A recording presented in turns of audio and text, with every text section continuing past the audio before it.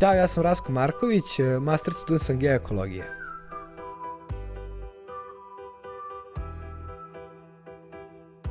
Ja sam završio gimnaziju Sidoru Sekulić u Novom Sadu i posle gimnazije, koji većina drugih gimnazijalaca, nisam znao baš tačno šta ću raditi u životu. Tako da sam iz neke znatiželje da naučim što više, što više stvari, upisao geografiju. E sad, kroz tu geografiju, vremenom ja sam sebe usmeravao. Znači, rekao sam, više mi se sviđa fizička geografija, pa sam onda puno vremena provodio u prirodi zbog toga, proučavao fizičke procese i onda sam vremenom se usmerio i rekao, aha, sviđa mi se geoekologija, sad ću malo da pokušavam da, da napravim neke promene tu, počeo sam sa nekim osnovnim akcijama poput sakupljanja smeća, a sada već pokušavam da napišem neke nauče radove na temu kako da se zaštite reke ili kako da se kako neke kako se klima menjala u prošlosti, kako da u budućnosti napravimo da da da, da, da rešimo neke probleme u, u, u društvu koje, koje nas sve zanimaju, a u suštini malo nas se bavi time.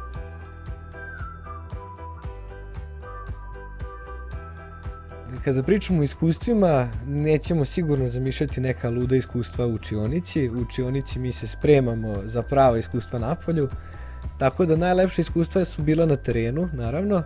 E, moj omiljeni teren, iako sam novosađanin, iako jako volim Frušku goru, moram da priznam da mi je Stara planina ipak najomiljeniji teren i na Staroj planini smo upoznali e, nevjerovatno velik broj meštana, meštani su nas jako pri, prihvatili kao svoje, zato što mi smo se borili za njihove reke. U suštini, postoji problem e, mini hidrocentrala, odnosno derivacionih hidrocentrala. Mini hidrocentrale znači da se proizvodi prave hidrocentrale manje od 10 MW, što je u suštini dosta mala količina energije, iako smo mi ekolozi, iako se brinemo o tim obnovljivim izvorima energije, iako želimo da ih povećamo na što veći nivo, ipak mora da se zna da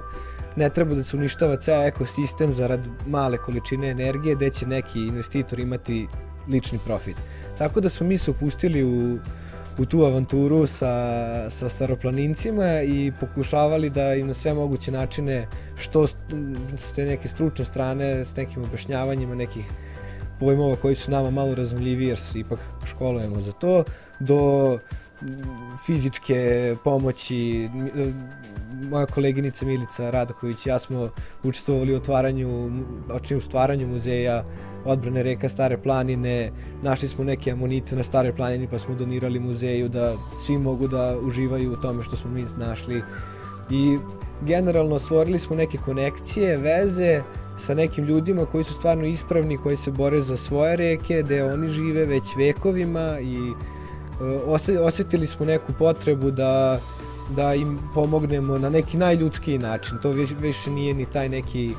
neki studijski moment i stvarno neverovatno iskustvo smo prolazili sa njima.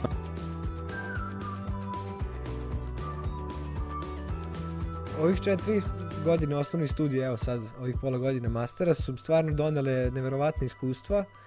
E, ne, nekolicina nas se opredelila da šeta Fruškom gorom vikendom i da sakupljamo smeće. Mi smo često provodili vreme na planini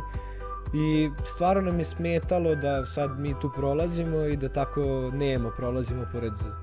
svog tog zločina, da kažem. I prvi put nas je došlo troje, i od tog nekog besa, kako da kažem, što nas niko nije razumeo šta mi zapravo tu želimo, iako smo napravili relativno dobru promociju, smo sakupili nevjerovatnih 18 džakova, punih, onih najvećih crnih, ovaj, i krenuli da stičemo neke prijatelje, u šumi kad ste, svi se javljaju, ne znam da ste primetili, ako šetate šumom, uglavnom ljudi kažu dobar dan kad vas sretnu.